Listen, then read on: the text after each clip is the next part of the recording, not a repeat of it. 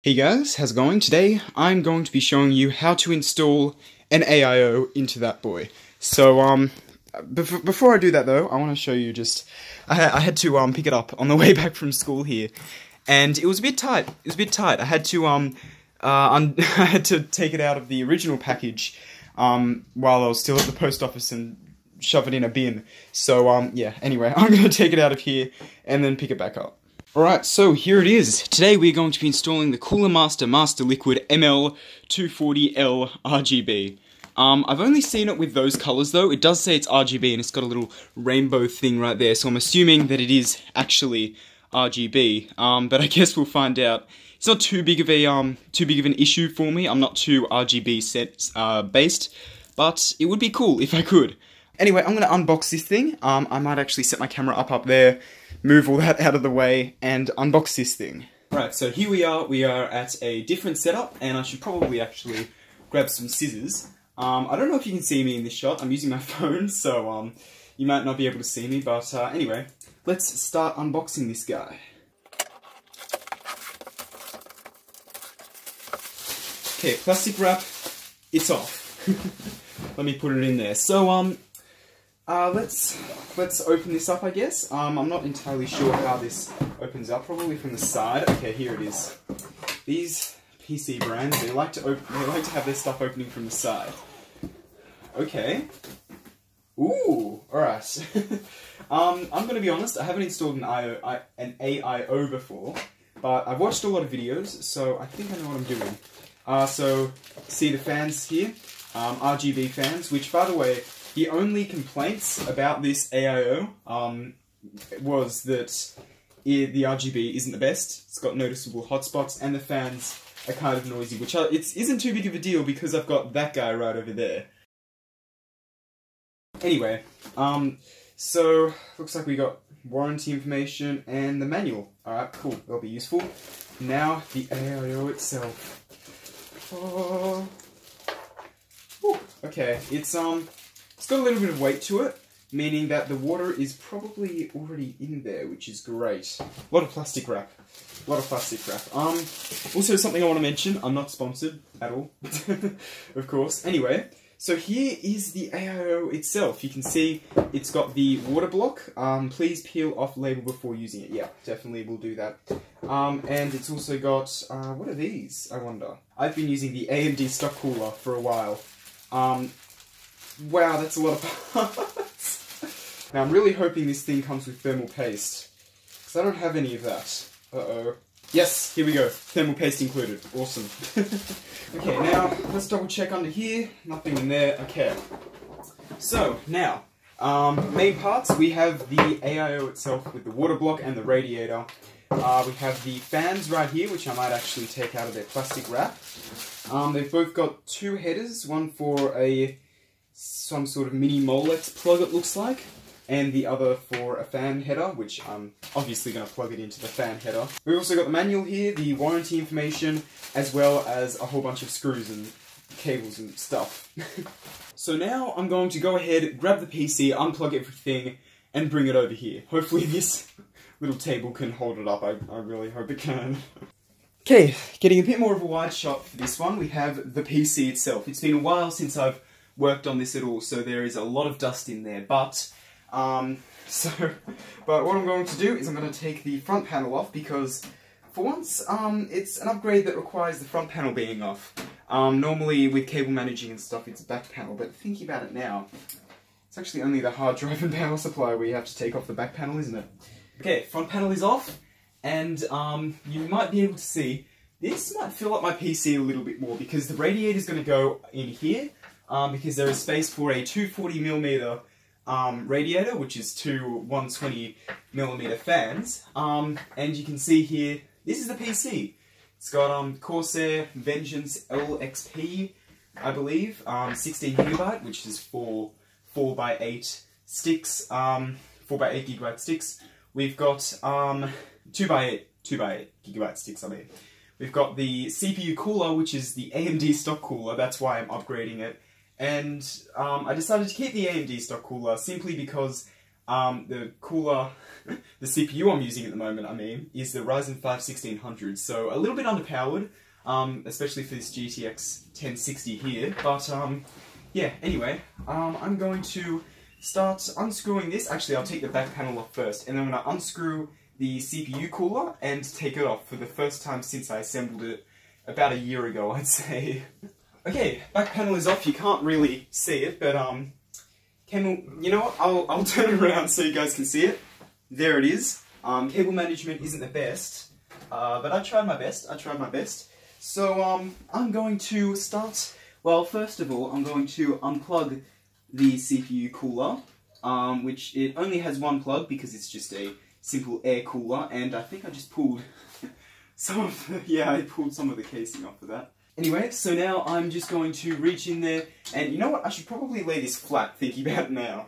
Okay, the recording cut off, I'm not sure where, but um, anyway, I've got it laying down flat now, and uh, hopefully a decent angle for this. Um, I'm going to try and look, I can't really look at the camera while I'm looking at this now, can I? Um, but pretty much I'm going to try and unscrew it uh, bit by bit, slowly, um, just to relieve, just to get rid of um, pressure evenly.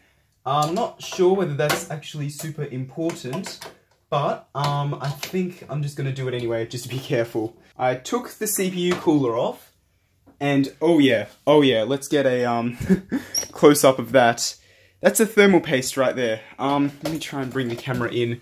Yeah, there's a thermal paste on the cooler. There's minimal, ironically, um, because it was pre-installed onto the cooler. Um, but it's all gone over to the CPU, which is interesting. I apologize, I'm trying my best to get the best angle for this here, but anyway, so we have the AMD stock cooler taken off, and um, now I just need to clean the thermal grease that is already on there.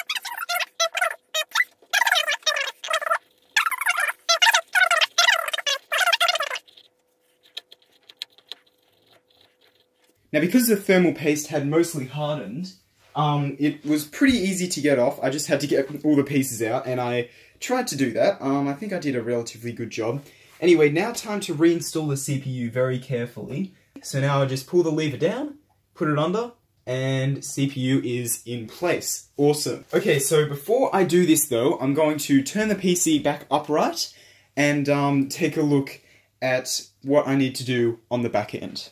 Okay, spinning the PC around to the back, you can see we now have this. And originally this was installed in the back, um, and that was actually pre-installed. I didn't put that there. Um, and I didn't actually realise that, was pre-installed. I thought that was just... I don't, I don't actually know. I don't remember putting that in there, but maybe I did. Not entirely sure. But anyway, um, yeah, I just, I just remember screwing my CPU cooler in and not having too much trouble with it. But, um... The AIO is going to be a little bit different, I think. So inside this bag in a bag, we've got a couple pieces. We've got this, which I think, um, if I get that out, I think this is for Intel CPUs. Um, because if I, if I put that up there, yeah, that's not that's not going to fit in any direction. So I guess I can just toss that out. Not not really, but anyway. Um, we've also got these two pieces right here, which I believe this is what we need to use in the back for our AIO. So upon taking more out of the plastic bag, I found these things. Now, I'm not entirely sure what they're meant to be, but I'm hoping it's got something to do with installing the cooler. I mean, obviously, why else would they have them in there? Okay, so after half an eternity, I've decided that I can actually take my uh, phone off the tripod, which is right there, by the way. Um, there, there's who I was talking about earlier. Hello, Kevin. Anyway, um, after half a century, I figured out that I actually need these things to install the AIO, which is actually down there currently. Um, I need these things um, in order to install it on an AM4 socket. So I had to go searching through my motherboard stuff, and this room is becoming quite the mess. But anyway, um, so now I have these installed, so now it should be hopefully, hopefully relatively easy to install the CPU water block.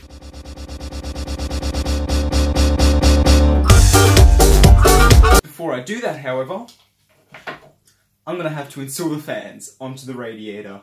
So in order to do that, I need to think about which way the radiator is actually going to go in.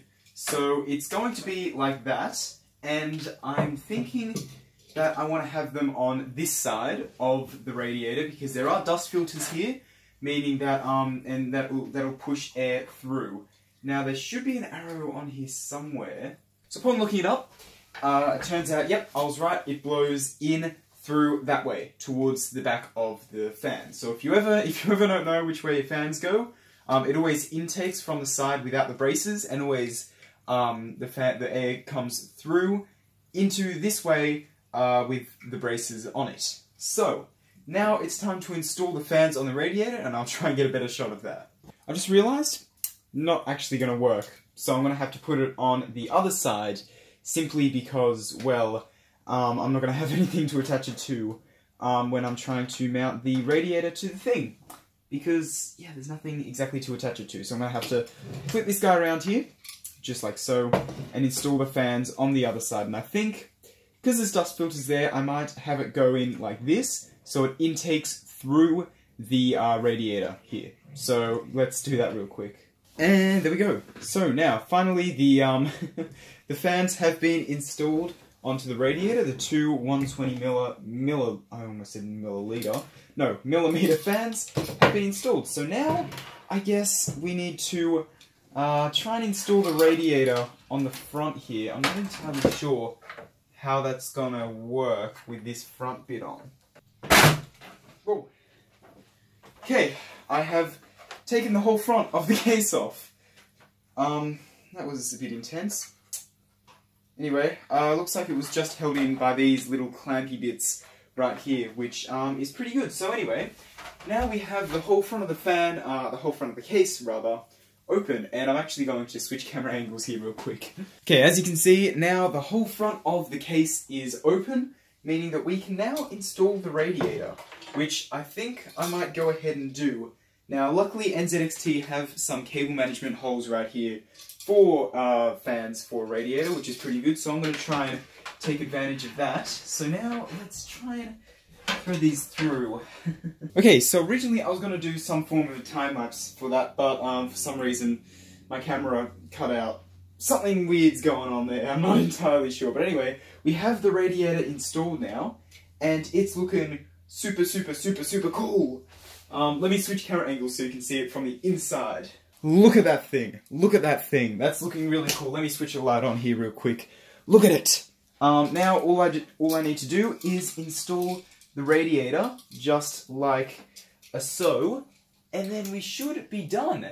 Um, so yeah, now I guess all I need to do, install the radiator, put thermal paste on, and then do some cable managing and plug everything in. As a result of all this, this PC is about 10 times heavier. Wow. Okay, anyway, now it's time to apply some thermal paste. So let's take off the cap here real quick. And now let's just get a pea-sized bit. There we go, that should be plenty right there. Um, so yeah, that's, I think that's all the thermal paste I need. I've done this once before for a friend, but um, that's about it. So now it's time to install the cooler. Um, I'm going to try and line this up best I can. Sorry for not the best shot here. I'm just trying to, um, really trying to line this up here real quick. okay. um, I probably didn't show too much of that in the final, in the, um, video, but that was really intense. Um, with the thermal paste on there, you really don't have, um, it's, it, yeah, it's, it's hard, it's hard. So, but anyway, um, we have the thing installed, and now these pipes are really, really long. Um, so I think I'm going to have to loop them up through here or something. But anyway, um, so now I'm going to have to try and find somewhere for these cables to go. Probably um, up through here and just out through the back there somewhere. Anyway, um, I'm going to tip this back up. And there we go. Yes, I am really, really happy with this. So now it's time to um, try and run these cables out the back. Um, actually, I've just realised there's a quicker location through here that I might run them through. Alright, I'm just going to cut to when it's done because there's a lot of clips of my big old head being in the way, as well as me just sitting there reading the manual trying to figure out how all the connections go. So, um, here's the end product. So, I believe I have all the cables in place after maybe about 20 minutes of just trying to get all the cables in place. Apologise for the dog. Um, so now pretty much um, I just want to put the front back on to this thing because I don't need it exposed anymore. So, um, this bit goes at the top. I thought this front part would be a bit more heavy duty than it actually is. Let me check the camera angles all good. Okay, now let's chuck this guy back on. Shouldn't be too hard, I don't think. It's on the right way. Yes, it is. Alright. There we go, the front is on, and there's a little hole up here, not sure if you can see that. Oh uh, yeah, you can't. There's a little hole up here which the air can go in, same on the bottom. And I've just remembered I need to put the dust filter back in, but I might actually grab the vacuum and vacuum it off first. Dust filter has been cleaned. Now, time to reinstall it, which should be fairly simple. It's magnetic.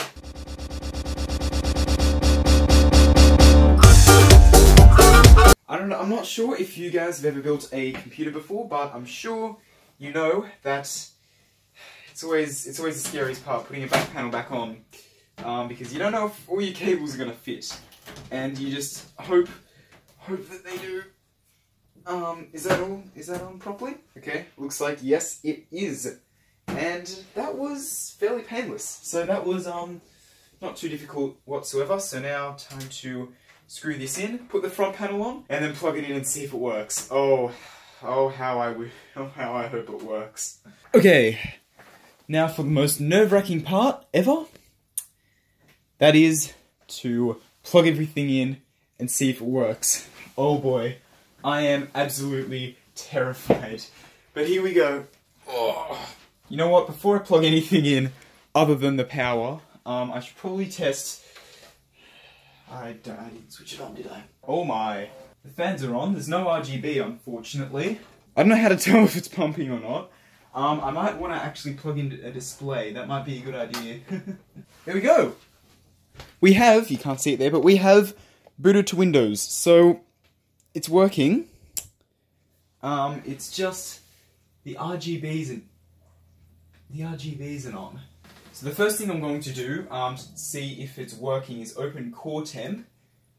And, ooh, my CPU temperatures are down to the 30s, which is the first in quite a while, honestly. Oh wow, it's gone down to the 20s now.